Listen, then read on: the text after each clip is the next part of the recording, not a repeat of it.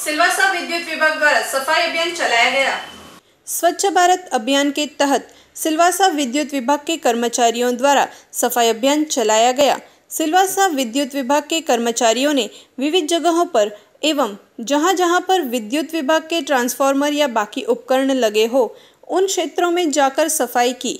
इस अभियान में सिलवासा विद्युत विभाग के सभी कर्मचारियों ने जुड़कर स्वच्छ भारत अभियान में सहयोग दिया।